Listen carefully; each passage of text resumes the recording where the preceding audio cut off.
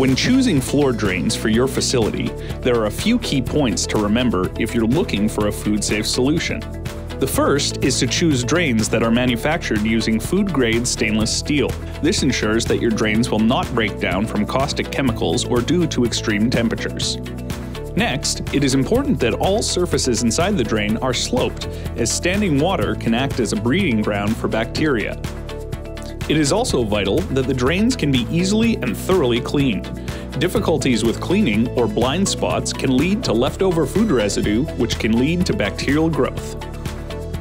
Imperfections in the drain's surface can act as harboring points for bacteria, so it is important that the drain be free of any chips, cracks, or pits.